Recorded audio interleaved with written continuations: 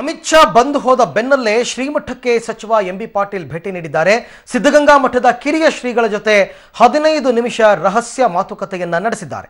ಕಿರಿಯ ಶ್ರೀಗಳ ಕೊಠಡಿಯ ಬಾಗಿಲು ಮುಚ್ಚಿಕೊಂಡು ಮಾತುಕತೆಯನ್ನ ನಡೆಸ್ತಾ ಇದ್ರು ಎಂಬಿ ಪಾಟೀಲ್.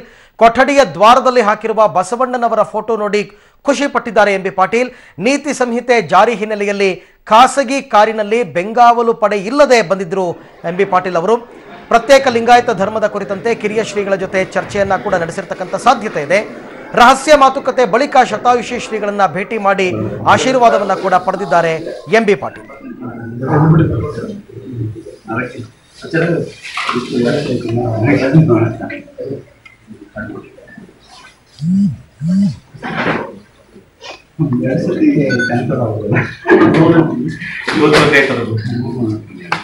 ಈ ಬಗ್ಗೆ ಮತ್ತಷ್ಟು ಮಾಹಿತಿ ಪಡೆಯೋಣ. ನಮ್ಮ ಪ್ರತಿನಿಧಿ ಮಂಜುನಾಥ್ ಅವರಿಂದ. ಮಂಜುನಾಥ್, ಕಿರಿಯ ಶ್ರೀಗಳು ಮತ್ತು ಎಂ ಬಿ ಪಾಟೀಲ್ರ ಮಾತುಕತೆ ಮುಕ್ತಾಯ ಆಯ್ತಾ? ಹೊರಗೆ ಬಂದ ಮೇಲೆ ಏನ್ ಮಾತನಾಡಿದ್ರು ಎಂ ಬಿ ಪಾಟೀಲ್ ಅವರು? ಹೌದು ಅರವಿಂದ್, ಇವತ್ತು ಸಿದ್ಧಗಂಗಾ ಮಠಕ್ಕೆ ಏನು ಎಂ ಬಿ ಪಾಟೀಲ್ ಭೇಟಿ ಮಾಡಿದ್ರು. ಕಿರಿಯ ಶ್ರೀಗಳು ಮತ್ತು ಹಿರಿಯ ಶ್ರೀಗಳು ಇಬ್ಬರನ್ನು ಕೂಡ ಭೇಟಿಯಾಗಿ ಅವರ ಆಶೀರ್ವಾದ ಪಡೆದ್ರು.